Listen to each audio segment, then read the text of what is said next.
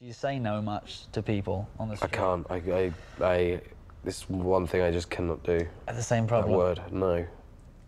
anything. I would. That's the danger. I would do anything if someone else told me to do it. Well, it's got that- me into a few tricky situations. Like before. what? I met this drag queen, and I ended up going back to her little flat with all her drag queen friends. Purely because you felt the compulsion. Just couldn't say no. Couldn't say no. They yeah. dressed me up. They dressed you up. We went to go and get bagels at like 4 a.m. I was in full heels and feather boa. it was really weird.